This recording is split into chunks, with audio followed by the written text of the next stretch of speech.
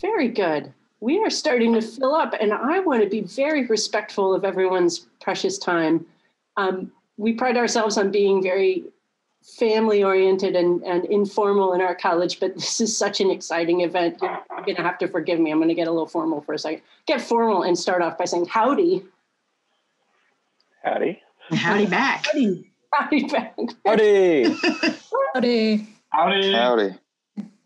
We Well, howdy, Aggie geoscientists, and welcome to our first career panel event of 2021. Uh, My name is Debbie Thomas, and I have the privilege of serving as your dean. Thank you all so much for joining us. And um, please join me first in thanking our exceptionally distinguished panelists and host. Um, I'm going to start off by introducing our host and moderator, and she in turn will introduce our distinguished panelists and, and take over from there. And then I'll pick back up to moderate a Q&A session um, at the end uh, as time allows. So let me uh, introduce to you Mrs. Jill Urbankar, class of 86. Jill is the chair of the College of Geosciences Advisory Council, and she is the visionary behind this afternoon's amazing event. Jill Urbankar is the executive director of the Consulting Services and Land Folio Solutions team for the Land Administration Solutions Group at Trimble. She works with entities around the world to establish comprehensive, sustainable, and effective land tenure solutions, which leverage technology international best practices and local requirements for the furtherance of secure land rights, transparent land transactions, and reliable information systems. Mrs. Urbankar graduated in 1986 with a degree in geography from the College of Geosciences here at A&M, and she leads by example as a former student through her many years of dedicated service in support of our college. Jill, thank you so much, and I, I turn it over to you to introduce our panelists. Super. Well, thanks, Debbie. And you're right. We do. We have a, super exciting um, discussion plan this afternoon um, with really industry leading um, geoscientists who come from, I think, all walks of the geoscience sector.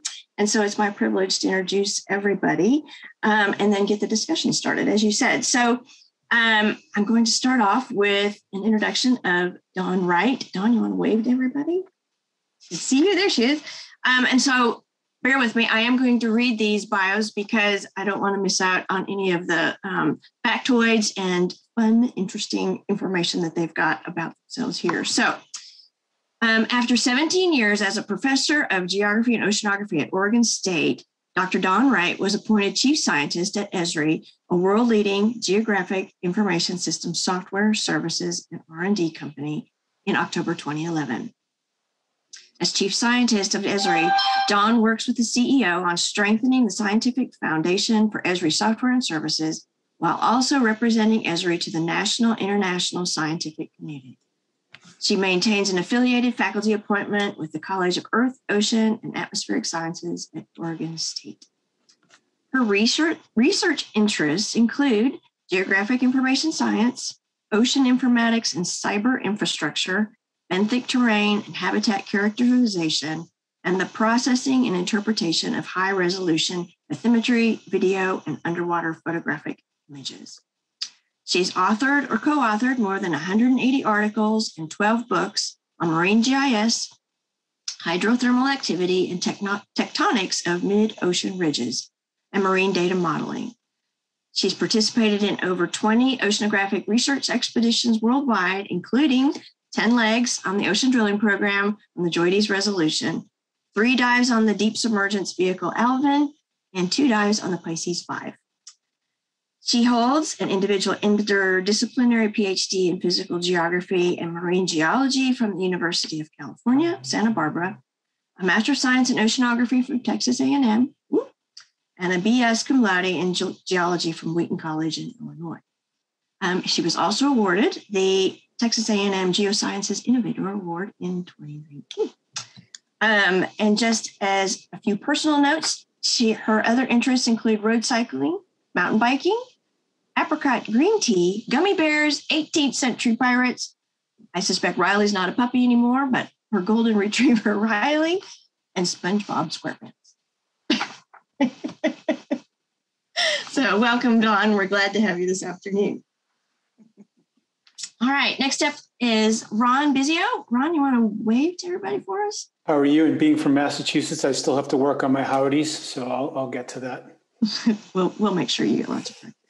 You, so your Ron, accent is much stronger than normal today, Jill. I think it's well, I think you know, you're I'm, talking to the home crowd. I'm hanging to the crowd. That's right. exactly. Exactly. It comes and goes, you know. But um, so Ron is our senior vice president of geospatial at Trimble. He joined Trimble in 1996 and has had several marketing positions, um, sales, and general management roles prior to taking over the global responsibility for surveying in the geospatial business in 2015.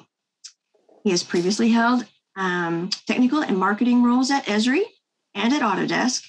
He has a master's degree in business administration from the University of Denver, a master's in regional planning from the University of Massachusetts, and an undergraduate degree in geographic information systems and cartography from Salem State University in Salem, Massachusetts. And Ron lives in the Denver area in Colorado. Yes, Boulder, Colorado, just down the hill from the National Center for Atmospheric Research up at the top of the hill there. Well, there we go. Thanks, Ron. Glad you're Thank here. You. Thanks, Jill. Thanks for having me. All right. Next up is Carolyn Wilson. Carolyn, give a wave. Hi. There she is. Howdy. So, Carolyn has a bachelor's degree in biology from Austin College and a master's degree in oceanography from Texas A&M University. After completing her undergraduate degree, she spent two years as a Peace Corps volunteer in the Federated States of Micronesia, working as a youth and community development volunteer. After graduate school, she moved to Washington, D.C. to work for two years at the National Science Foundation as a science oops, sorry, as a science assistant for the geoscience education and diversity, diversity funding programs. For the next seven years, she was a research analyst at the American Geosciences Institute, conducting research and development activities on the changing dynamics of the geoscience workforce. For the past year and a half, she's worked at the American Society for Engineering Education as a researcher and program evaluator. She just started a new position as a special projects manager for the Southeastern Universities Research Association, managing two major NASA grants, uh, programs. Her career path has been varied within the science and engineering federal and nonprofit sectors, so she can speak to the repurposing of skills to the job at hand. While at AGI, she became a recognized expert in the status of geoscience workforce. She currently lives in Alexander, Alexandria, Virginia, with her cat Willow and lots of snow. Welcome, Carolyn. Glad you're here. And last but not least, Russ. Um, Russ Callender is currently the director of the Washington Sea Grant, located at the University of Washington in Seattle. His career has primarily been in the public service sector, providing executive leadership to major national scientific and operational organizations, where he has applied his experience as an interdisciplinary marine scientist environmental policy expert, and seasoned program administrator. He led progressively more complex scientific organizations, supervising up to 1,700 people across the globe.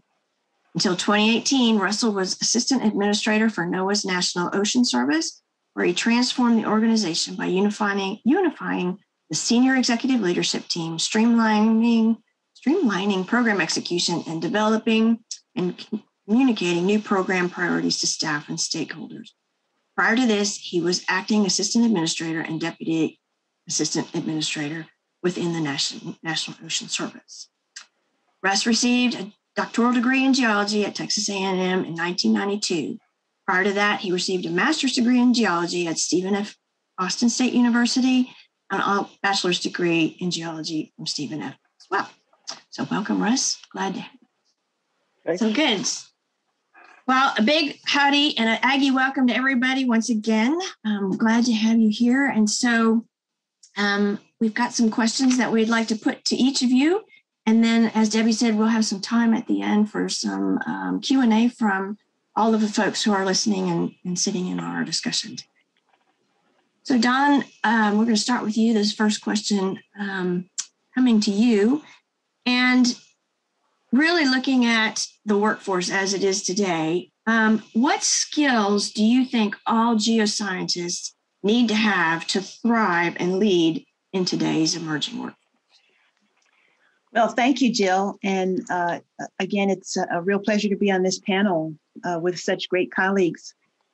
And I think we're going to run out of time to talk about uh, everything, uh, especially this first question, because we could have a whole session just on this first question. And for me now, the geosciences, when we say geosciences, it's so varied because it could be traditional geology, it could be uh, geographic information science, which is more on the geospatial side. Uh, in terms of uh, my colleagues at, at, Trimble and those of us at Esri, it could be uh, more academic. It could be in the nonprofit sector with conservation organizations. Uh, all of these, uh, it could be government, of course. But I think one of the skills that cuts through all of these, I would say, is to have a digital presence, a digital portfolio. Because regardless of what which of these sectors you are going to end up in, if you've got a a website uh, that shows who you are, what your background is, uh, what you've done, uh, where you're aiming, and if you've got uh, a presence on social media, and we could have, we could uh, debate the merits of that. Uh, in my own career, uh, Twitter has been uh, a boon. Uh, there's so many wonderful resources if you're in the right, the the lighted, the light spaces of Twitter, not the not the bad, not the dark sides of, of any of these social media platforms. Being able to to show that and to link people to that, uh, a lot of geoscientists are using Instagram to great effect. And I've noticed how the professional organizations, all the way from the Geological Society of America, the American Geophysical Union, the Association of American Geographers, uh, we at Esri use social media very heavily, uh, and we are on Instagram and showcasing the places where we are working in the field, uh, the maps that we are creating, the data that we're producing, the projects that we're involved in. I would love to talk to Carolyn about her her work in Micronesia because I've worked in American Samoa and there's we've got uh, quite a bit of a, a web portfolio. I, I, now use the word portfolio, digital portfolio, uh, to describe some of the things that that I'm building now in in my career. But when I was at Oregon State, I uh, I didn't order my students, but I strongly encouraged them to create this type of web presence, this type of digital portfolio. Uh, and with Esri, we have uh, story maps as a medium now, and we find that a lot of students are creating story maps of their uh, professional and and their student lives. So they have they've created story maps of where they've where they're from, where they've gone to school. They have put their their class projects, their course projects that they're proud of as part of uh, the story map, and uh, other aspects. So they are essentially creating a digital CV. So so that's one of the things that that I would highly encourage. Super. Thank you very much. Well, uh, Ron, turning to you with the same question. Um, coming from Trimble, which um, publicly traded large corporation, what what do you um, see from that seat, if you will? You know, that's that's really needed to thrive in the in the uh, the workforce as students are coming out. Yeah, no, I mean, I, I think I'll look at it two ways. Maybe one on the technical and one on the more more general. Um, I, I, think one of the things that we're really seeing from a technical standpoint is the increased importance of artificial intelligence and machine learning. And especially because if you think about it, and we're part of the problem in many ways, there are just so many sources of data out there microsatellites, satellite imagery, um, uh, bathymetric data, mobile mapping systems, scanners, all of these um, sources of data generating massive point clouds. But in the end, customers want to use the data to make decisions in their in their industry and in their domain. So I think it's really important that we are, have got to employ technology to help get from these point clouds to answers. Where this came really home to me was for a few years I was running Trimble's railway business, and we were in presenting to um, one of our customers And um, we, our salespeople were talking about the massive point clouds we were going to collect. And midway through the meeting, I'm looking at the customer and I realized he actually only cared if his train was going to hit the wall. Uh, he, you know, in the end, the point cloud was what he needed to get to his answer. So I think anything students can do to learn more techniques to help get from point clouds, geospatial product to answers is going to help out. So that's from on the technical side. More on the you know, Jill, you mentioned, you know, the big company. Um, what does it take to to interview well and to, to to to move up inside an organization? The number one thing that we look for is what we call effective advocacy, and it's essentially presentation skills. Um, I was very fortunate in my graduate program in regional planning. We were quote unquote forced every month or so to present in front of all the other students and you got very comfortable over time presenting in front of others. And it just that is the most important skill we look for because you need that whether you're presenting in front of a customer whether you're trying to present to get your budget approved or even if you're just trying to get your colleagues to follow you in a, a new development initiative that you want to go after.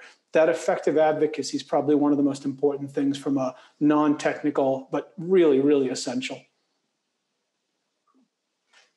Thanks ron. Appreciate that. Um, Carolyn, to you as well with that question. Um, certainly sitting in a very different kind of role um, where you are today. So, how does, from your viewpoint, you know, how do you see the um, the key skills that are really needed in the upcoming workforce? Sure. Um, well, I agree with everything that's been said so far, and I, I think my perspective comes more in in some of the work and research I've done on um, recent graduates and what employers tell uh, tell nonprofits and um, societies and um, academic institutions on what they're looking for uh, amongst uh, potential new hires, and um, the discussion has moved towards looking at looking for new hires that have a general good basis across the board on just about everything.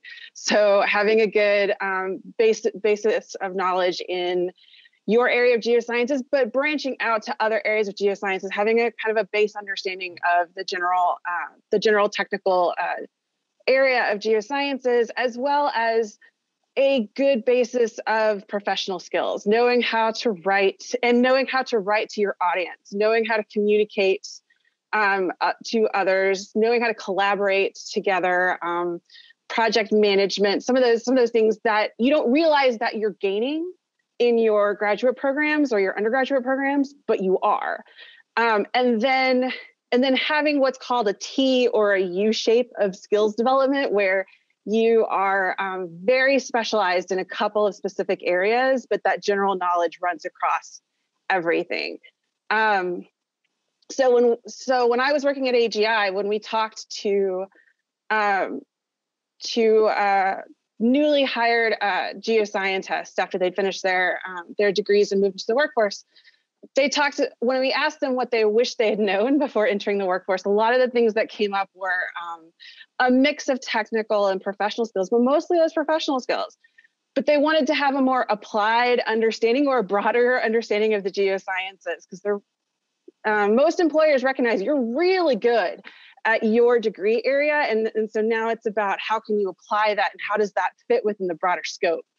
And then um, knowing about business skills or uh, personnel management or um, uh, communication, statistics, writing, things like that. Um, your employer can help you with some of the more technical pieces that come along with your uh, with your job, um, but it's kind of up to you to make sure that you are uh, prepared in some of those professional areas and can hit the ground running and know how to solve the problem that comes up in front of you, or at least know how to troubleshoot as it comes across. And as someone who's been working in and around the nonprofit sector and with uh, societies and with um, multiple different uh, stakeholders, uh, I, I pride myself in becoming a jack of all a jack of all trades kind of person. Sorry, Siri, like on my watch.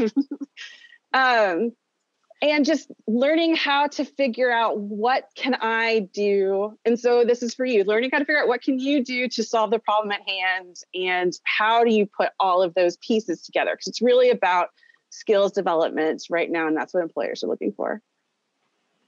Super. Thanks, Carolyn. So, Russ, over to you as um, more of a government or quasi government entity, if you will, with NOAA and Sea Grant and um, kind of an academic viewpoint as well. What are your sure. thoughts? Well, first of all, the comments from the panelists, I think, were rock solid, really super helpful. Uh, you know, my response, as you say, really comes from the perspective of being a, a geological oceanography, oceanographer, a coastal scientist, uh, a coastal lab director, as well as uh, an executive leader within NOAA. So it's a little bit different perspective, but I think the fundamentals of what all of the panelists uh, said are, are still very applicable. I think the biggest bit of advice that I can give you is something really simple and straightforward, and that's about effective communication. Being able to um, communicate your technical uh, information in a way that anybody can understand it is going to get you a long ways. I think my best experience learning how to do that was when I was working on my PhD at Texas A&M. I was working on deep sea chemosynthetic communities and how they fossilize. And I was explaining this literally over the fence to my next door neighbor who was an air conditioner repairman, like zero science training. And I got him excited about it. He was excited about oceanography, about chemosynthesis, and you know, anyway. So being able to talk in such a way that something that's pretty esoteric and technical, people hmm. get it's critical. If you move into leadership positions, being able to communicate to your other scientists, great. You probably already have that down. How do you communicate to an administrative professional who might have a high school education? How do you communicate to a senior leader that doesn't have your background? You know, I, I found that, that that experience talking to the air conditioner repairman prepared me really effectively to go talk to Congress you know, I'm, I'm going and talking to members of Congress, I'm talking to staff, all super bright people, but they might have a degree in history. And so, how do you explain uh, coastal flooding and inundation to someone like that? It's just, you've got to learn how to communicate. And uh, an outshoot of this is, you know, throughout your career, you're going to be building relationships, you're going to be building networks um, you're going to be building coalitions. And I'll, I'll be happy to talk more about networking and coalition building a little bit later in one of the other questions. But I think just being able to to get your point across in a simple, straightforward way, uh, either through you know, as Dawn suggested, uh, you know, with with uh, a digital portfolio, uh, lots of ways to do it, but you've got to be able to communicate. Excellent. Thanks, Russ. So our next question, um, and Ron, I'm going to start with you on this one. Um, where do you see the biggest growth area for um, geoscientists or, or graduates with geoscience um, degrees or those that are looking to go into the geoscience career field? Any thoughts? Yeah, so I really liked this question. I think the hardest thing I had with this question was narrowing it down to a couple that I could talk to in my allotted time, uh, because there's just so you know you get so excited about our industry and there's so many great areas. Um, coming from the Trimble side, I think I'll hit on just maybe a couple. One is um, the the movement to autonomy, uh, autonomous vehicles, and everybody um, thinks of when they think of autonomous vehicles as cars and taxis and buses, things like that. What we're actually at Trimble, where we we actually see it happening probably first is in agriculture and construction where you've got a confined space where you've got less human interaction perhaps. And so there's we actually think that in in agriculture on farms and in construction sites you're going to see a lot of autonomy. And i think there's a big role for the geoscientists in autonomy because in two areas. One there's going to need to be rich spatial data to provide context for all these vehicles moving around. Um, that's going to be really important. The all of a sudden our data is going to need to be even more precise because real you know these are going to be really real-time decisions that are going to be made by vehicles based upon where they are um, in, in, the in the landscape. Um, the second area of autonomy that's pretty exciting, and and would love to you know talk about internships and other things at places like Trimble, um, is the fact that there's just a wide variety of sensors that are um, that are out there, lidar, GPS, radar, and all of these sensors. You know, if you listen to Elon Musk, he believes that it's going to go that autonomy is going to go in one direction. Others believe it's going to go in another direction. But but there's this whole basket of sensor technology that the people are thinking that is, is going to be there. So that's one, and and and, and I'm I'm pretty excited about autonomous vehicles. The other one that I'm really excited about um, is the convergence of buildings and the built environment. Um, for many, many years, the building was almost like this Cartesian zero zero uh, structure where everyone thought of the building and it just like it floated out there in ether. And then all of a sudden, we started to put the building into the context of the landscape. Um, where are the utilities? Where are the transportation corridors? Where's affordable housing? Where's public transportation stops? All of a sudden, the building and the geospatial data around it came together. And I think that's an area that's going to grow. I think one of the most exciting things I've seen in the industry in years was when Esri and Autodesk decided to collaborate. Um, and something that Esri coined as geo design. And I think that's a really exciting area to see um, to see where that's going to go. So those are the two that probably have me the most excited. Jill. Super. Thanks, Ron. I appreciate that. So, Carolyn, to you, same question. Um, where do you see the biggest growth areas in the geoscience career space? Well, Ron, Ron definitely stole one of mine. I was going to talk. I was going to mention automation because I think that's huge, and I and I, I think it provides so much opportunity for uh, for uh, geosciences and, and geoscientists to to really um, build and grow and work in our, our workforce. But I, I think with the uh, with the growth in recognition of um, of sustainability issues uh, here in the United States, I think there's going to be more connection with um, social sciences within within the workforce than maybe there hasn't been before. And i think this is really exciting like really recognizing the connection of the geoscience world and the workforce with how that affects uh, the public on a day-to-day basis and moving forward and i think um, i think the development of innovation in those areas uh, to help help us in our daily lives um, and help the help the public and connect that with policymaking is really exciting to me Do you have any examples of that where you know that's going on? Uh, no, not not specifically. Um, mostly because I'm not really in the geo the the the geo workforce as strongly as I have been um, in the past. But um, it's really exciting here in DC. It's really exciting to see the uh, the nonprofit world really work in in that space, um, particularly when they're advocating to um, to federal agencies and to Congress on on what on, on what their constituency um, is doing um, in their research world and how that will affect the public in, in general. And there's been a lot of federal funding that's been focused on the connection between geoscience and social science um, moving forward. Thanks, Carolyn. Um, okay, Russ, to you. And um, same question. Where, what do you see as the biggest growth area for geoscience careers? Sure. So I'm again coming from that perspective of being a federal scientist in NOAA, and I think um, there's going to be a continued and growing emphasis on climate change and assessment, mitigation, adaptation, and the broad topic of resilience. And I'm, I'm thinking in the coastal zone, but also broadly across uh, the continental U.S. as well. And and to be clear, this isn't a political calculus with the new administration coming in. I think this is, it has to be a policy emphasis because of the changes that we're seeing. If you just sort of step back and think from the coastal zone, for example, about 40% of the US population lives in coastal shoreline counties. Um, you know, they're at risk from larger storms, more intense storms with a warming planet. You've got more moisture to be dropped. Think about uh, Hurricane Harvey and the impacts it's had uh, there in Texas. So, um, as as you as you think of the challenges that are coming to the coast, um, you know, there's uneven enforcement of building codes, of local ordinances, of poor planning and construction.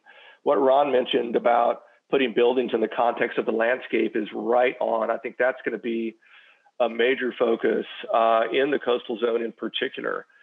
And you know, related to this is there's there's industries that you probably haven't thought about partnering with, such as the insurance or the reinsurance industries. They're some of the biggest companies on the planet, and they're going to be looking uh, and needing.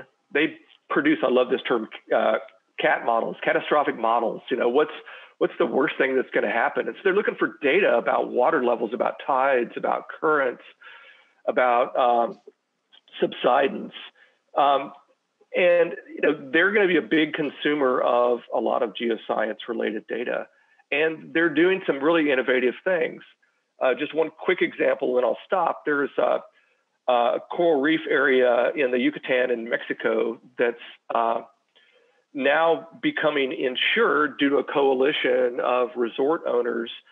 And they've developed essentially a parametric kind of model that when you, certain conditions are reached, um, this triggers this insurance policy. And Hurricane Delta actually met some of those criteria and then allowed additional uh, funding to come in quickly for uh, for cleanup, for hazard assessment, for uh, restoration. And so you get these connections between the geoscience side and other industries that you may not have thought about. But I think that larger coastal resilience kind of question is going to be a big deal.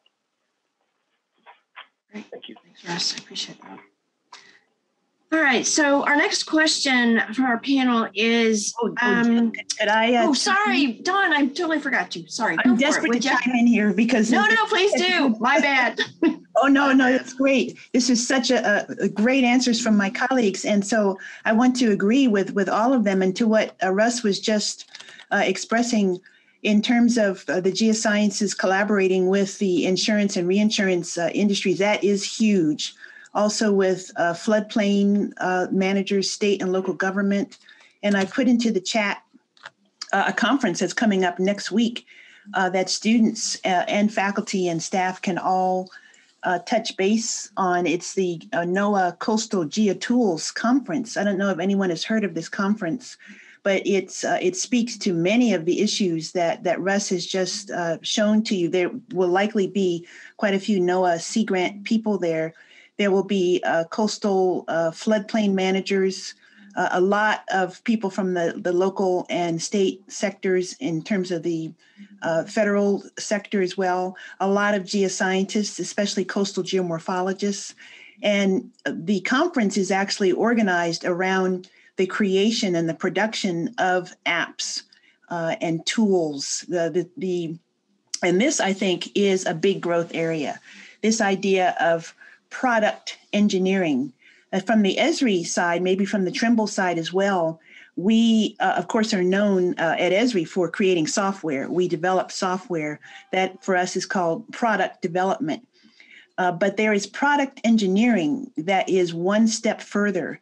And in product engineering, you're getting at actually some of the communication and translation that Carolyn was talking about, certainly what, what Ron was talking about and Russ was talking about as well.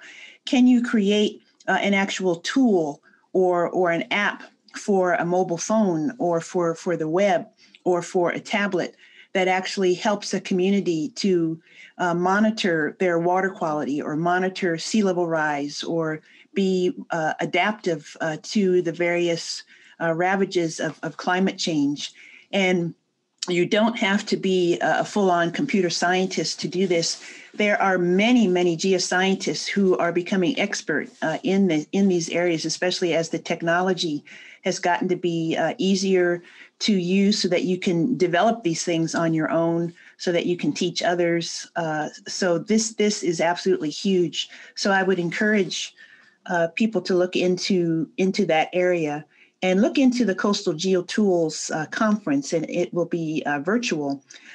Geodesign, Ron, you hit the home run there with with starting off talking about geodesign. Carolyn as well. That is another huge uh, area of growth, and uh, I'm going to put something else in the chat. I hope these are getting through. Uh, geodesign uh, is an area that is very close to uh, building information management and urban planning uh, that Ron talked about. And Uh, Esri does have a wonderful collaboration with, with Autodesk toward that end, but it also stretches over to what Carolyn was talking about in terms of bringing uh, geodesign is really a bridge uh, between the physical, the social sciences, the the arts. It incorporates not only urban planning but landscape architecture, archaeology, anthropology, graphic design, uh, uh, virtual reality, augmented reality. geo the it, it's geo because the geosciences is absolutely fundamental to it. So there are a lot of geoscientists who are involved in geodesign.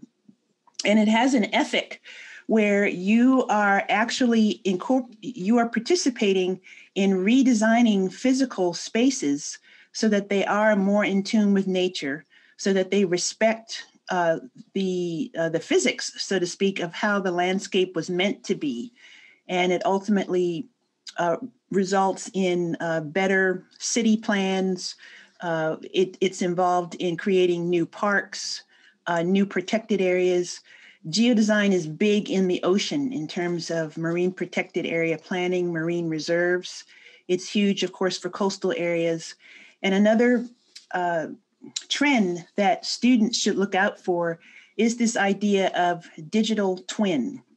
If you haven't heard of digital twins, this is more than just creating a three dimensional uh, visualization of an area. A digital twin is actually a functioning, talk about uh, automation, it's a functioning uh, representation of a space uh, where you can create scenarios. Many of us from uh, the 80s, we were so in love with the video game Sim City. You're creating a simulation. So now with digital twins we can we can totally do that and we can do that using gaming engines. So along with digital twins uh, look into serious gaming and there's a lot of that that is being incorporated into the tools that geoscientists use uh, for us at esri if you're familiar with city engine that's that's what that is for uh, especially in urban places and it doesn't hurt that City Engine was used in movies like Big Hero 6 and Zootopia. And uh, there are other uh, great movies that are coming that are using our software that I won't divulge at this time. but those are some cool. great trends. So, just a quick follow up then to you, Dawn and, and Ron. Maybe you want to jump in here too. Um, are you seeing the the idea, the concept of this of geodesign? Um, obviously, it's it's getting a lot of play and attention, so to speak, um, in the US. But what about in the international space? Are we seeing other markets, um, obviously, maybe in the Western sec, uh, Western European areas, et cetera? But what about in um, you know emerging economies and um, maybe um, other regions of, of the world? Is it being embraced broadly, or is it really a US initiative at this time?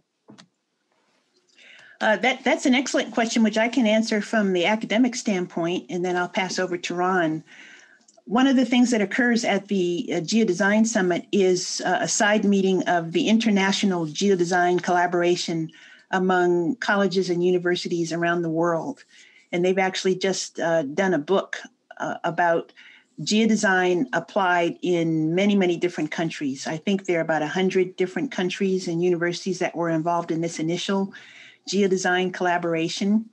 Uh, it's spearheaded by uh, Harvard because the idea of geodesign was actually is actually being credited to Carl Steinitz, who uh, is a professor at Harvard who uh, was one of Jack Dangermond's professors when he was at Harvard. So so there's that academic tie, but uh, that is one of the reasons for this geodesign summit uh, that is being hosted. Uh, it's it's a yearly meeting, and there is quite an international audience. We expect it to be even more international because it's virtual this year. Mm-hmm. So uh, we're we're really looking forward to uh, who uh, participates. Uh, indeed, because it's virtual for the first time this year because of the pandemic. Ron? Yeah, yeah. Thanks, Dawn. Um, and to a point that Dawn made, you know, she was talking about building information modeling or BIM. Um, and um, you know, you were asking the question of you know outside of the United States. Actually, quite frankly, there's a lot of countries outside the United States that I would consider to be leaders in in BIM implementation. Um, you look at Germany, um, you look at look United Kingdom. There are there are now mandates that when a new major new construction project is underway, that um, the BIM models are part of the deliverables for that. And Jill, you could, I'm actually going to put it back to you, Jill. You could probably even talk more about the emerging markets because you probably have more passport stamps than anybody on this call to get, uh, maybe even combined. Um, so, you know, what do you see, Jill, in the in the emerging markets? Yeah, I would say that um, a lot of the the universities actually in in some of the the emerging uh, markets are really putting a big focus on this because they want their graduates to come out and not um, really be looking at things, if you will, through the old methods, but embracing the new technology so that not only are they able to bring better results to their countries themselves, but that makes them more marketable to international firms. And um, if their students are successful abroad, they typically come home and then bring that knowledge and that expertise with them. And so, um, so yeah, I would say in many ways they readily embrace the technology. They don't necessarily have as robust probably of programs and technologies at hand that we do. But um, but yes i would say that they're really trying to leapfrog forward and leverage the new technologies not just in bim but in a lot of the uh, the geodesign space as well. Great. And you thought you were going to get away with moderating. I was hoping but oh well. It's all good. All righty well thanks guys. Um, right so third question that we have um, and carolyn i'm going to call on you first if you don't mind. Um, what opportunity do you wish you had pursued during your education?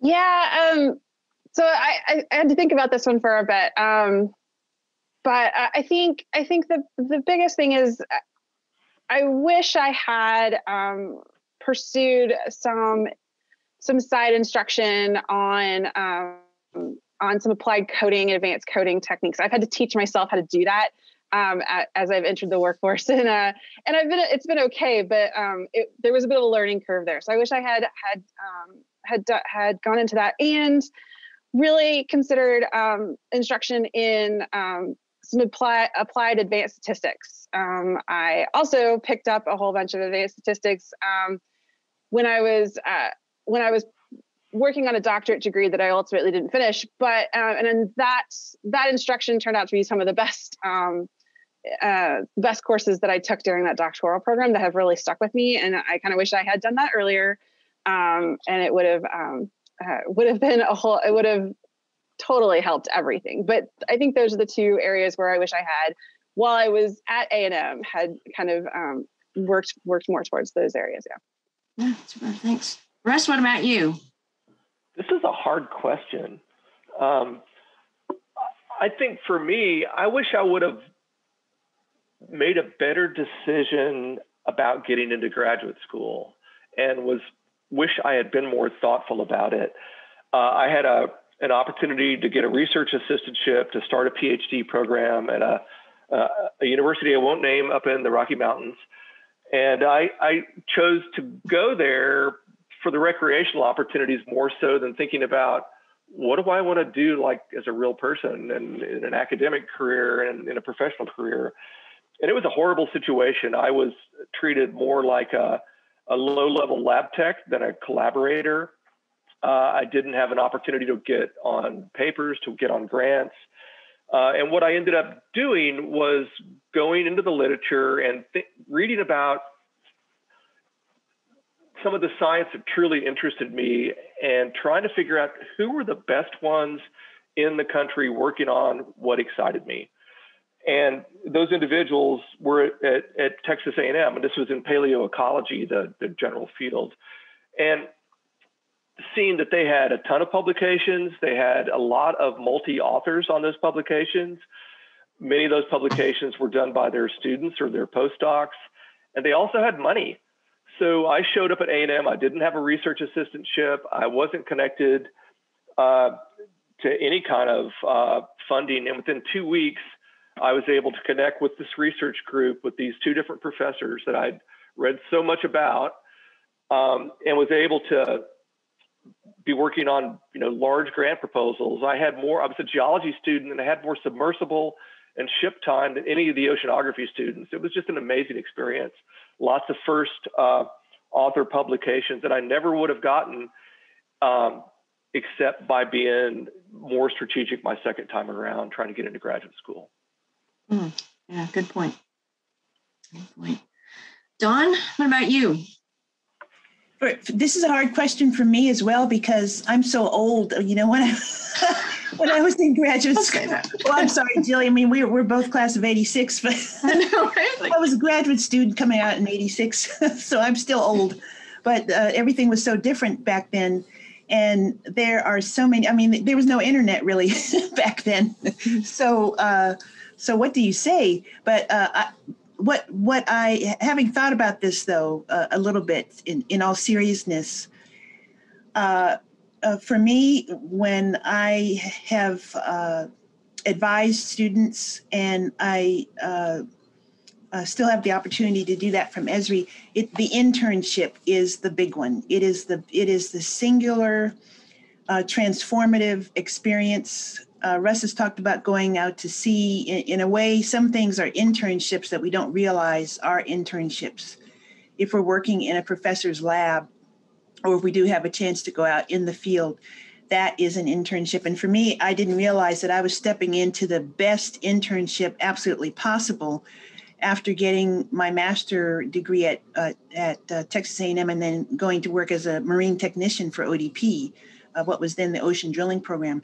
Uh, but now, uh, especially if you are in geospatial, uh, or if you you you're in that broader industry that incorporates uh, Esri and Trimble and and uh, those technology companies, I can't say enough about uh, the power of an internship and how how many of them are out there, and many of them are paid and many of them are uh, entryways into into that company. So, for interest, for for in, for instance, for us at, at Esri, our internship program is getting more competitive. But for the interns that get into our program, we are hiring about forty percent of them. So, if you are looking for for that pathway uh, into that industry or into that company, uh, that can be uh, extremely uh, helpful. And Dawn't give up too. If you don't get an internship that you want uh, the, the first year, the first summer, uh, keep trying and be persistent and keep your your portfolio uh, current uh, so that that you can you can be in there for for the next opportunity. Thanks, don Ron, what about you? Any wish I had? Oh yeah. So if I get to do it over again, so um, I have some stuff I wrote down, and then I changed my answer after listening to Dawn's intro, um, because I, would go back and study oceanography because uh, I grew up outside the Woods Hole Oceanographic Institute, and uh, if I I can remember getting so excited when the NOAA ships would come into port, and getting to see Alvin as a kid was a, was a big moment. So um, so if I could go back, I'd, I'd change my major, and I may even talk to my wife about another degree. So the, the two things that, that, that I think are really important, no, number one, get your passport and get out of the country. Study abroad, do anything you can to get o- overseas. Um, I had an opportunity when I was in um, graduate school to teach a two week GIS seminar at the Universidade de Aveiro in Portugal. And I got bit by the bug hard. Um, I've now been to 40 plus countries for Trimble and I just I love that aspect of it. Um, get outside the country and, and experience that. See how professionals use our tools in other in other parts of the world. Um, I think it's a great thing. The second thing is maybe a little bit of a curveball. Um, if you get a chance, study some law. Um, it's actually interesting. When I was in when I was in planning school, I took a coast, uh, coastal law class, and then actually decided that I almost went to law school and decided to go down that path. Um, but even the exposure that I had to, to legal classes have been so helpful because the geosciences industry is actually dealing with a lot of thorny legal issues right now. There's some very serious data privacy issues that are coming down. Autonomy is going to have a lot of um, legal issues associated with it. So anything you can do to get exposed to that, I think will uh, will always benefit. And um, to Dawn's point, number two after study abroad for me would be internship. If you can do if you can do both of them at the same time, all the better. So. Great, thanks. And of course, you know, I agree with the get out of town, get out of the country, go take a look around, see what everybody else is doing, see what you can learn, maybe through a different um, lens and a different viewpoint. So good, thanks. Right, so we're down to our last question. Debbie, are we good? Do we have till the bottom of the hour, the half hour? Or do we have to stop at the top of the hour? Some may need to leave at the top of the hour. If if you're able to stay, we can continue the Q and A. But um, it, it, why don't you why, why don't we do a quick wrap up with the last question and, and then, okay. and then yeah, I don't think it'll take too long. So okay, so last question, Russ, you get to go first. Um, what's the best advice you ever received? Um, relevant, obviously, to what we're talking about here today, um, as opposed to maybe you know Super Bowl picks or something. I never got the Super Bowl picks, so I can't really help mm. that on that one. I, I'm going to hit three things really quickly here uh, to be cognizant of time. Is one is networking. Uh, every job that I've ever gotten, except for probably my first one, was based on networking by uh, building a brand for myself, by building a reputation, by building connections, by figuring out how to work well with other people so that uh, individuals would go, wow, we want to get this guy. And so literally almost every job I've ever had was through networking. Um, secondly, be willing to take risks in your career. Uh, I've been a risk taker both in my personal and professional life. I'm a have, was a rock climber and mountaineer for many many years, uh, and I've you know I took a lot of risks in jobs. I I uh, had an opportunity uh, to run one of the coastal science labs in NOAA. And then I ended up running all of the coastal science labs in NOAA because you know individuals saw that I could that I had those leadership qualities. Uh, and it was a big risk for me to do that because running a you know a single lab was so much fun. I was a NOAA science diver. I got to get out in the field, etc. Um, and I guess the the other the last thing is find a mentor find somebody that is willing to invest in you and um, build that relationship with them. And I would also say, don't just find a mentor, but be a mentor as well. I've found that most of the, the, the most rewarding opportunities and experiences I've had as a leader was helping other people grow and develop in their careers. It's just so exciting to me. So, networking, be willing to take risks, and focus on mentoring. Super. Thanks, Russ. For a long time on eating. I know, right? Dawn, what about you? What was the best advice you ever received or that you might want to give out? Another tough question, uh, but I'll, I'll, just say quickly uh, my major professor for my PhD uh, said that you need to ask questions. You need to always be asking questions. And up to that point, I had not really gotten that at all. I hadn't gotten that as a scientist in terms of posing a scientific question, and I hadn't gotten it as a professional in, in terms of, of, uh, of course, the scientific curiosity is there, but having the confidence to ask questions.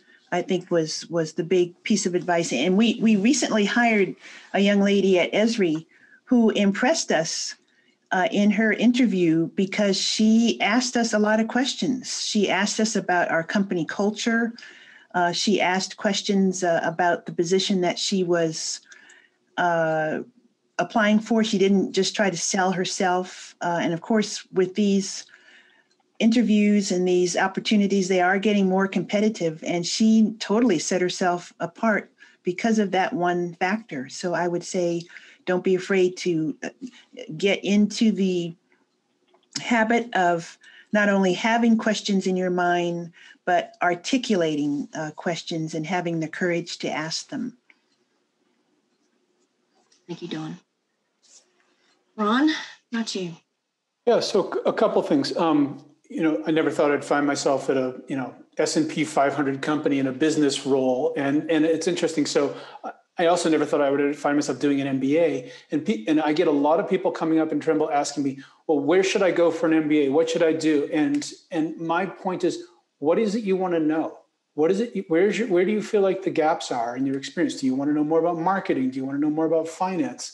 There are different programs, there are different kinds of places to go. And the other thing is, uh, we get people who come into the company and two years after after joining the company, they want to go off and get a, a business degree, and we say, well, you don't even really know yet what you don't know.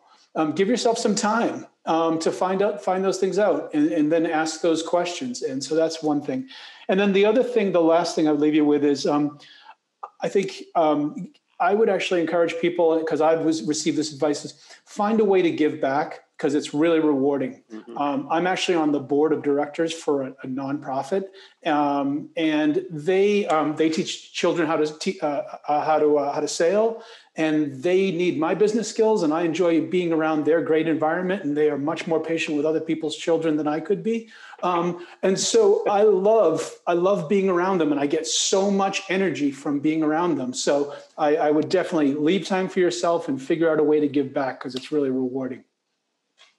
Well, and that's very Aggie of you to say that, Mom. I just want to know. So thanks. All right, Carolyn, last but not least. Yeah, um, I think my biggest one is be your own advocate in everything. Um, ask for opportunities. If something arises that you want to be a part of, ask and see if you can do it. Um, create opportunities that um, will help you grow and give you challenge and um, take on some of those risks that were discussed earlier um, and know know when to say yes and when to say no. I mean, I I have said yes much more often than I've said no, but knowing your limits is also incredibly important too. Um, but in every job that I've had, it's always been about knowing knowing my skills and knowing what I can do and where I can best fit into the project and being able to articulate that effectively to um, to my boss, to my teammates, to um, the uh, the individuals that I am working with at other organizations, like know how you can fit in and how and how you can work with your team and find ways to challenge and, and grow. Right on. Thanks, Carolyn. Wow. Well, thanks, guys. This was really rich. Um, and I think we've gotten a lot of good input and ideas and perspectives. So, Debbie, um, I hand the baton back to you to throw out some Q&A to our panel. Well, thank you. And panelists, if you need to depart at four, because I know your schedules are incredibly busy, but if, if you can stay, I'd love uh, the opportunity to open up the audience uh, to the participants to any questions. I um, either ask them in the chat or raise your little zoomy hand. Um, and uh, love to hear a follow-up conversation about all of this great advice and, and other questions you might have. I have a question if I could start. Absolutely. Perfect. I don't know where the hand is, so I'm just going to go. um, so I am actually locationally near the um, Esri in Colorado. Do they um, ever have the opportunity to kind of uh, have someone come in and take a look around and just kind of pick the brains of those who are there and kind of give the, you know, uh, their interpretation of how they do what they do effectively? Sure. Yes. The uh, we we call that that office the the Denver office, even though it's not technically in uh, in Denver. Uh, it's just outside of Denver. But at any rate, yes, uh, you could you could go over there and uh, ask to be shown around, or there are some wonderful people in that office who can come out and speak to to your organization or who would connect with you. One of them is Joseph Kerski. Uh, Joseph Kerski, uh, Jay Kerski, I'll put it in the chat. He is one of our best uh, ambassadors for Esri on many, many counts. He is a geologist and a geographer by training. He worked for many years at the U.S. Geological Survey and the Census Bureau before coming to us at Esri. And uh, he, uh, I think, he would be one of the best people to start with out of out of that regional office. And if I could just build on Dawn's comment, you know, if you want to fill up a day, you could go to the other side of the Rocky Mountain Airport where the Trimble headquarters is, and um, we could actually do both both in a day or something like that. If you wanted to put together a group of people, we'd love to have you come in. Um, we can show you railway track surveying, and we've got an autonomous uh, tractor behind the building we can show. So that maybe we could actually, if you get a group of students together from Texas A&M, we'd happy be happy to have you guys in. With the caveat of once we're back in the office and I can finally get out of this room that I've been in for Yeah. 11 months. Yes, I would be curious to know how many of um, the master's students are in uh, Colorado. I live there.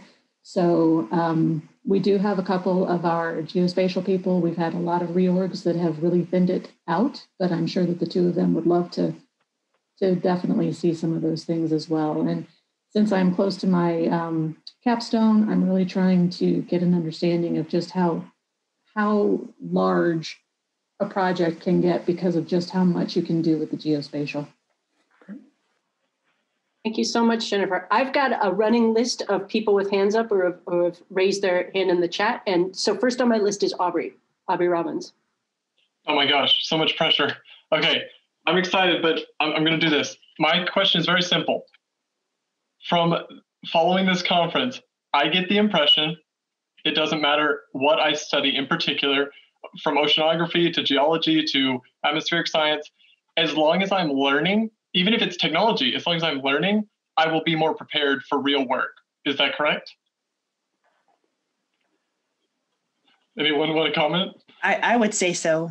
I would. Uh, there are so many colleagues and friends that I have who have reinvented themselves, uh, and they've gone into different careers. There's many of those colleagues as there are those who studied uh, to be um, a metamorphic petrologists and continue on that way all the way through their career and were fantastic at that. So, uh, in both cases, though, the Uh, would- ability to learn Sorry. is, is is paramount. Yeah. Go, Uh, sorry, sorry, sorry, Dawn. So, uh, yeah, for me, graduate school taught me how to think. It taught me how to learn. Um, you know, and if you think about an invertebrate paleontologist leading a major uh, federal oceanographic uh, organization, like who would have known, right? You know, but it taught me how to learn. It taught me how to think critically. It taught me really how to um, think big and dream. Carolyn, Okay. did you did you want to add anything before I jump in? Do you want to Oh, sorry, go on? ahead. Okay. Um, yeah. So Aubrey, you're, you're right on it. I asked our CEO Steve Berglund one time what he thought was the most important skill that anyone could have in the company, and he said what he looked for more than anything was curiosity. And, and Ooh. I, you know, and, and if you're curious about something, you can you can do anything because then and that just goes hand in hand with if you're curious about something, you'll you'll enjoy learning about it. It won't be a chore. Um, and so, if I could just teach my 15 year old that, would be great. That's fantastic. Thank you. Carolyn, did you want Yeah, to I- add anything? I think they covered it. I mean, it's kind of how what I hit upon in my opening statement. So yeah. Very good. Thank you. Okay. Um, next on the list, I have Annie Lee. Hello. Sorry, I couldn't find the mute button. Um, yeah, so Aubrey, actually, this kind of goes into what you're saying too. Is I've been a mechanical engineer for the last 10 years, and I'm now jumping into this geosciences world. And um, I realized, you know, I wasn't finding fulfillment in the stuff I was working on. And honestly, my passion is the ocean, and I want to I want to move into that so bad. Um, but what I've found is that you kind of need to know a lot of programming. It seems like every job application I've looked at for GIS analyst or GIS type roles, it seems to be, oh, well, you got to have some kind of programming knowledge. And as a mechanical engineer, I really haven't had to do that. So I'm actually taking my first Python class and I'm going crazy. but uh, that's what I've heard a lot of, you know, Python, Python, Python. But then I look at all these job applications and they call out C++, uh, or sorry, yeah, C sharp, uh, several other things. And I just, I'm curious, should I be doing anything in parallel besides Python?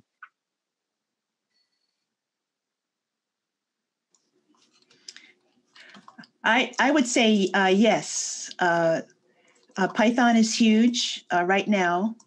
it's the uh, scripting language du jour, and I make a distinction between scripting language and something that's harder core uh, programming language like uh, C sharp.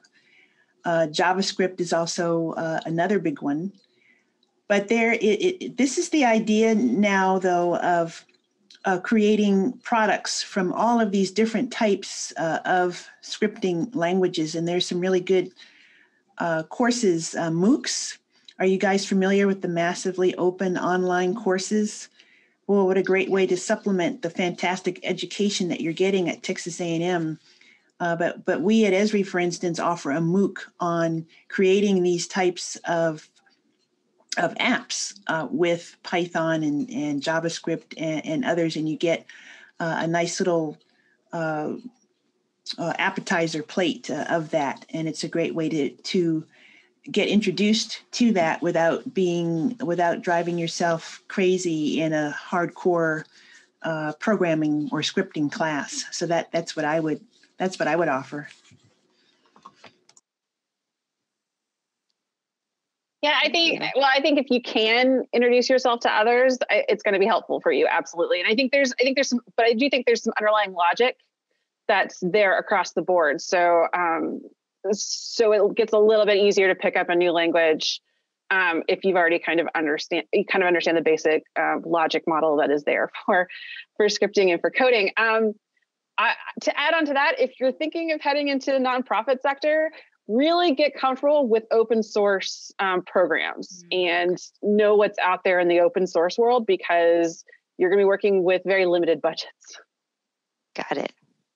That's actually, yeah, that's a good one. Oh, thank, thank you so you. much. Uh, Don Hood. Hey, uh, thanks, uh, y'all, for the great uh, answers thus far. My question's, I think, a little simpler.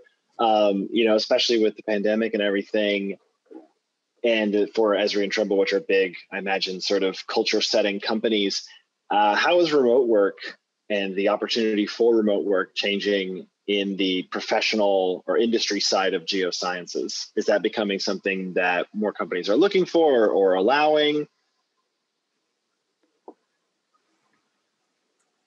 Here, I, I can. I'll start this time. So um, for us, I think it's been a great equalizer. Um, I'm I'm very envious of Esri because we don't have a core headquarters. Um, my sector of Trimble, we've got about 1,600 people scattered across 23 offices around the globe. But what's great about about remote work is we're all equal. When we all join into a call, it doesn't matter if somebody's in Finland or New Zealand or where they are in the world it whereas other times people would feel left out because they weren't in the colorado office. They would feel like they weren't really part of the call. So i think it's been a kind of a, a great equalizer. Um, i've enjoyed aspects of it but boy i would i really do want to get back out and start seeing customers and and uh, and visiting our, our development offices around the globe. And i can't even imagine what jill's doing with herself. Yeah it's the same way uh, for us. We are we have found at Esri, uh, and, and, we do have a headquarters with around 2,000 people here in Redlands, but we have all of these regional offices, uh, such as the uh, the Colorado regional office, and all of us are on lockdown. All of us, pretty much all of us, are finding that even though we really look forward to getting back into the office and rubbing elbows and shoulders with with our colleagues, we have been extremely productive uh, in the remote work mode and it is going to change the way that we work uh, in this company. Uh, I can say that from the director's standpoint uh, uh, because I'm on the, the board of directors of the company that is guiding this company in addition to, to being the, the chief scientist. We are going to we, we are going to now have these hybrid uh, job positions uh, and we are going to be it has forced us to be more cognizant of people's life needs uh, people with educating children at home, uh, taking care of elderly parents, uh, just trying to be more productive. We have one uh, colleague who, even before the pandemic, he asked to uh, if he could work from his home, which is in the remote woods of Michigan, uh, where he could also spend time wood crafting and hiking and spending quality time with his children. He is one of our most productive uh, cartographers. He does this amazing work, and it's because of his work situation. He does not have an Esri headquarters that he reports to, or even an Esri regional office. He works out of his home, and that is his his mode of productivity. So it, it is going to be uh, a new world from that standpoint. Yeah, I, I would agree with that. At least, you know, working at the university and then working in a program that is built on uh, conducting outreach with people in the community. You know, we've we've had to innovate almost everything that we do and how we do it. And so I I frankly have seen the pandemic as that opportunity to innovate. Uh, and I suspect, as as Dawn has, has stated very eloquently, that the workforce post pandemic and the workplace is going to be very very different uh, for almost all of us. Yeah, agree with all of that. It Good, thank you. Allison, Allison Blanchard. Okay, cool. So um, I am actually in my final semester of geosciences. My my official degree is environmental geoscience with a specialty in biosphere, and I already have two associates, um, one in geology and one in anthropology. And Debbie, um, I actually remember when you were interim dean and like you were in my like um, freshman course, like the the intro like fresh fish camp thing. So like it's really cool to see you like actually like dean like officially. So congratulations on that.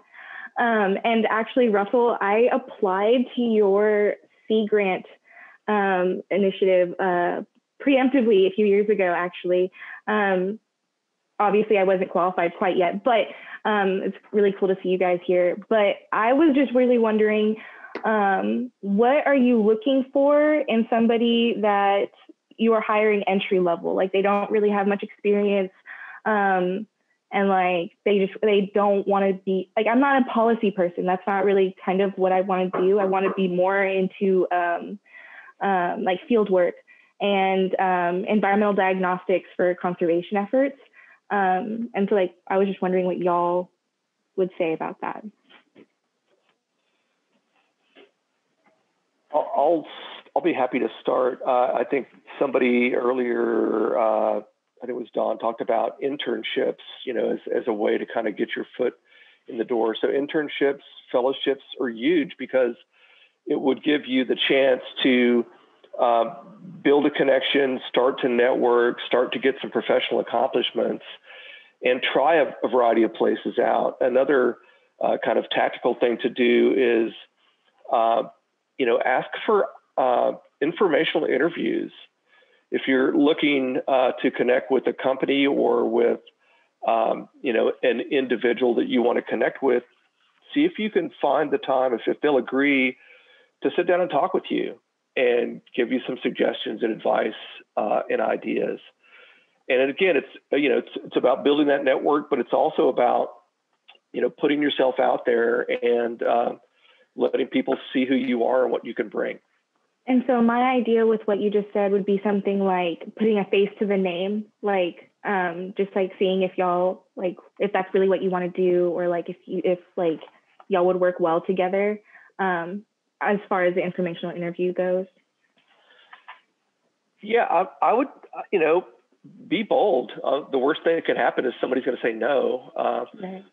You know, uh, uh, you know, why don't you reach out to uh, Dean Thomas and say, "Hey, could I sit down and talk to you for a little while and get a better sense of how you got to where you were in your career?" Not to put you on the spot there, Debbie.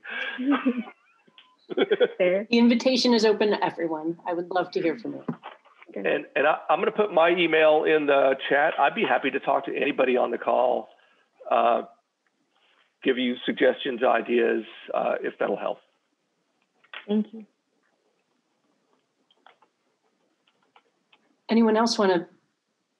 I think an, I think an internship is a great first step for this kind of um, for this kind of investigation. Um, I, I would say start start making contacts and, and doing some searches through um, through some of the the larger geoscience societies. Look at um, look at the Geological Society of America. Look at the American Geophysical Union. Um, uh, those uh, two societies in particular have a lot of um, student opportunities that are listed there um, for both um, recent recent graduates, current students, both the undergraduate and graduate level, and um, it will it will give you a very solid introduction on um, the different aspects of the geoscience workforce and just kind of give you some experience, and it helps you develop that network when you when you start when you start looking at some of the uh, society opportunities. You said Geological Society of America, and what was the other one? Uh, the Geophysical uh, American Geophysical Union, and um, to get some background information about uh, what like what's out there in the geoscience workforce, what kind of occupations exist. Uh, check out the American Geosciences Institute. They're a wealth of information on um, career opportunities. They won't necessarily list out internships and like uh, current opportunities, but they they list out ideas of what is there, um, what your starting salary could be in various different industries, um, various aspects of the workforce in general. And uh, there's some uh, a lot of information up on that website. And then going back to what Russell said, just probably ask for like an informational interview and just see if they respond. Okay. Thank you. Very good. I um, I have three more. I see three more hands up, so I think that'll be a perfect way to round out the conversation. So first, uh, Van. Yes, I think it's awesome what y'all are doing here in this meeting. Um, I found it great. You'll have all good information that I can use. I've been in college for several years now. I had to go to junior college to get started, but um, many students go that route. Um, I was one of them. Um, I graduated from junior college in 2019 and transferred to A&M the, the following fall. And ever since then, I've just fallen in love, more and more in love with geology. And um, I was with the oceanography department and we went to Galveston Bay and looked at different things in the bay. We got um, sediments, looked at sediments, salinity of the water and everything it was it was an awesome experience. Dolphins were there. It was it was great. Um, and then we went to San Marcos with the geological um, group of people, and we went to a river. I forget the name of the river, probably San Marcos River or something. And we went and walked on the river, and we saw different things in the ground and and all the different organisms and fossils that were there. I thought that was astonishing. Um, I'll never forget those experiences there at the geosciences, the College of Geosciences at A&M. But what I was getting at is I was looking at Trimble the other day. I stumbled upon Trimble. I don't know other than the fact that they make GPS systems. That's really all that I know about Trimble. What other things do y'all do besides make GPSs? Yeah, so so I'll, I'll be really quick on, on a reply. And if you want to connect on LinkedIn, I'm happy to walk through and, and talk through other things we do. We take GPS in, into agriculture, into construction, but we've branched out into um, working in, uh, we acquired SketchUp from Google. So we're in the design space now for software. So we're in a whole bunch of new areas, but I would say a lot of it is around positioning technology and helping transform the way uh, these industries work, such as agriculture, construction, oil and gas, and others. So, but again, happy to happy to dig deeper on that one if you want to contact me uh, on LinkedIn. Do you have an email by chance? I'll drop it into the uh, chat. Okay, Thanks. Thanks a lot, and glad you glad glad to hear about your positive experiences. Thank you, Van. Kashmir. Yeah, it's been amazing for sure. Hi, um, I'm very excited to be here. Um, so I have an internship. I already got an internship um, two years ago with Department of Homeland Security Office of Emergency Management uh, doing FEMA work for GIS. And I did a year of gas. Now I'm in an electrical telecommunications company as a GIS specialist. But um, so I guess I'm in the root of ocean data science uh, for my geoscience master's. Um, I have heard different things from different professors at Texas A&M, and uh, of course, I've done my own research and things like that. But in the NOAA uh, field, um, I was told that uh, GIS wasn't like a a departmental thing, I guess. Um, I was wondering if, like, how, because I know LIDAR is used. I know that you guys use that quite a bit, but is in the NOAA field, um, since I'm looking more into the oceanography, marine data science, and things like that, uh, is there like an actual like um, GIS uh, use for it, I guess. Um. so, so Kashmir, I, there's there's so many opportunities to connect uh, on GIS and the geospatial side in NOAA. Uh, I put my email in in the chat. Reach out to me. There's a couple groups that I want to call out. One is called the uh, the, the biogeography group, and they do a lot of uh, benthic habitat mapping and some really cool geospatial modeling. There's the Coast and Geodetic Survey that produces all of the uh, bathymetric maps that are used in the US EEZ. Um, oh gosh, there's there's all going to be all kinds of applications: ocean exploration, uh, National Geodetic Survey. That uh, I mean, almost everything geospatial is tied in some way, shape, or form to what they produce and the the modeling and mapping of the geoid. So reach out to me and I'll be happy to give you some specific suggestions um, and maybe ideas about who to connect with. Okay, thank you very much. And uh, Kashmir, just something really quick. Uh, NOAA, uh, among all the federal agencies, I would say that NOAA is one of the biggest, uh, most wonderful users of GIS. Uh, as as Russ has uh, expressed, they have a geo platform, which also gives you a, a, very nice overview of all the different things they're doing. So I'll put a, a link to that in the chat. Thank you. Thank you so much for your question, Kashmir.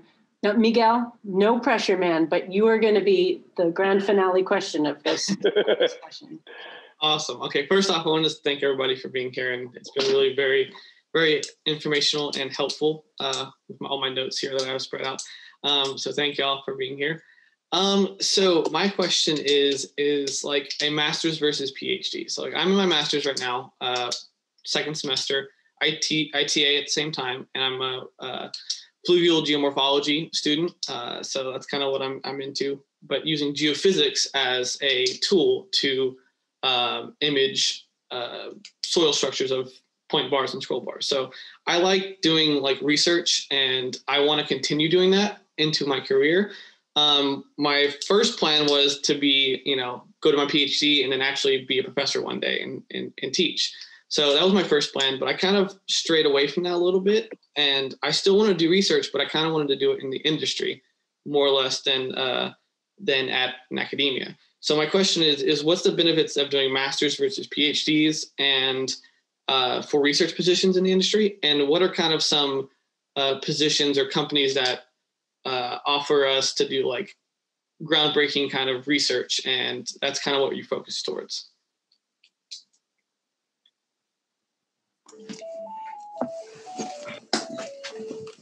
That's a, a great question. I'll, I'll dive in really quickly in our remaining moments. Uh, my sorry about my phone because I've got another call coming up. Uh, I think you can uh, do a, a, lot of wonderful research with both a master or a PhD.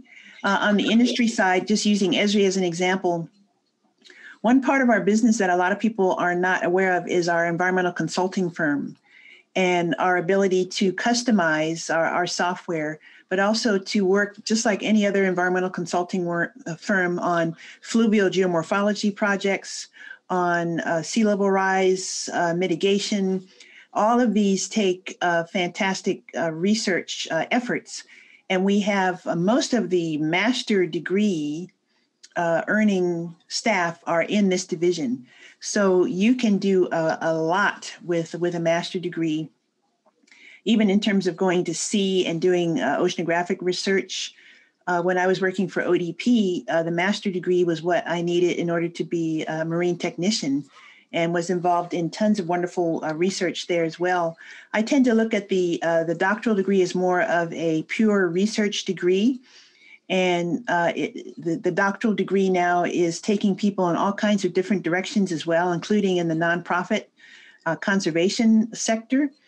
Uh, but uh, the the master degree is, uh, I think, it's like the Swiss Army knife uh, for for doing uh, all kinds of wonderful things. Now, of course, PhD can be that as well, but I think you're on a good track with the with the master degree, especially if that is what you want, because the other part of this is what ignites your your passion. And uh, do you want to be? Uh, for my PhD, I had to be rather monastic for about five years and just you know it was a slog it was worth it but you know it's it's why it's called piled higher and deeper uh, as well as a doctor of philosophy Thank you. Uh, yeah, agree with everything that um, that Dawn said. There's a lot of opportunities for uh, for the master's degree. I have a master's degree, um, and I mean, you can do research with that master's degree pretty much in just any um, geoscience area and in most industries, you can find opportunities at your uh, state state government level, at the federal government level that are open for master's degrees. Um, the environmental the environmental area is big for master's degrees. I mean, it's across the board. Actually, I don't even know why I'm talking about specific things. It's across the board, really. Um, and there's some resources at AGI that show that very specifically. Um, so I recommend looking at that if you want more information. Um, and something that may come up like it's it will help you kind of figure out where you might want to go with your research if you if you start um, start in a career somewhere do some research figure out what you like what you don't like and it might lead you to the doctorate and they might pay for it um, so there's some benefits towards um, going going into the workforce for a little bit before heading into the phd if you're unsure can I jump in super quick? I know I'm kind of late to this game. Hi, Debbie. It's been a long time since I've seen you. Um, but I actually got a master's and then worked for five years and then came to Texas A&M to get my PhD because I knew at that point, and I work in environmental consulting. I have for 16 years now. So, um, but while I was doing my PhD, I had much better focus because I had been working, so I knew what a job was really like. And so you I also then could say, okay, this is what I'm interested in studying. This is what I want to know about. And it's and honestly, unfortunately, it's nothing that I do now. but um, it was something that I just wanted to be able to do. And so um, from an environmental, I mean, I'm, I work for a small firm, um, but we are constantly looking for new grads and that kind of thing. Hint, hint, EarthCon, earthcon.com, call me. Put it in um, the chat. Put it in the chat. I will. I will. Um, but it's we're looking for new grads. We love undergrads. We love master students. We love PhD students. Um, but we don't do the research that you're probably looking for because our clients pay us to do a specific job. They don't pay us to do research, right? Um, but having that, having worked and and then deciding to go and do a PhD, I think was um, something that really it made me much more focused and um, you know just kind of pushed me to to make sure that I was moving forward. Thank you, uh, Julia. So. Thank you so much. I don't mean to cut you off, but no, I, want, okay. I, I, don't want to lose the chance to thank our amazing panelists before they have to depart. Um, so please, everyone, unmute and join me in thanking our four amazing panelists as well as our hostess with the mostest. Thank you. Thank you. Thank you. Thank you so Thank much, you. everybody. Thank you. It was super. Thanks, guys. Appreciate your Very time. helpful. And please stick around if you want to continue the conversation. Um, and this will be recorded and made available, all the chat, valuable resources in the chat. Dawn, Carolyn, Ron, Russell, thank you. Thank you. Thank you. Happy to play. Uh, I, I am going to have to bail though. Yeah. Same here. Gig 'em.